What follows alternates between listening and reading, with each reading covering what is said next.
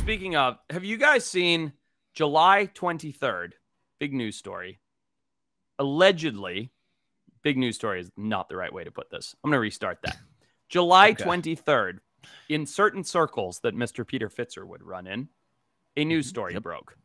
Allegedly, NASA set out to kill, to track down and kill a megalodon in which a fisherman decided to follow their boat, followed them all the way until he supposedly saw them shoot and kill a megalodon before sinking it to the bottom of the ocean and then the boat's turning around and heading back to shore. This is a real thing. Look it up. There's is like all these videos about this. This is like a known thing that apparently NASA on July 23rd of this year, just a, just a week ago, went out or a month ago, went out and killed a megalodon because they found that one was roaming around. So Are you is seeing what this anywhere? Are, saying. Oh, it's been all over. Yeah, I, I guess it went huge on TikTok and whatnot. That's where I saw it. I'm not gonna lie.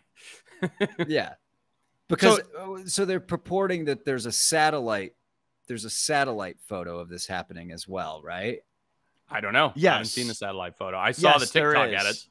Okay. Uh, if Kyle could pick it up, I'm looking at it. There's a big mass in the ocean on this satellite photo. Yeah, this is what started the conspiracy theory that this is a megalodon. Looks more like a giant squid to me, but Oh, it looks pretty sharky. Um, sharkies. Now, why would NASA be called in for this job? That does look like a shark. yeah, oh, come does look like on. a shark.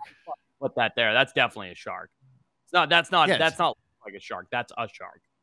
Yeah, that's a shark. I was actually, if you zoom back out, Kyle, uh, I, I was looking at uh, the the other giant, even more, the giant mass next to the land plot. See the Oh, giant, the giant squid right there.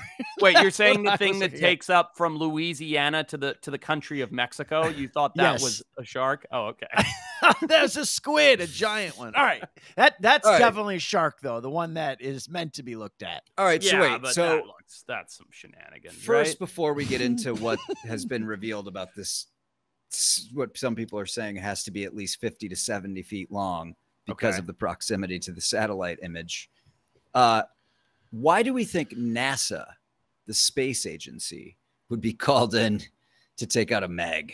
To be clear, we don't think this, but I would say if we did think this, it would be because NASA is probably the most trained organization underwater in the world because all of the space training takes place underwater, Right? Ah, Oh, that's okay, very interesting. right? Also, Oh. they the satellite image was captured by NASA, so adds credence to the uh, conspiracy theory.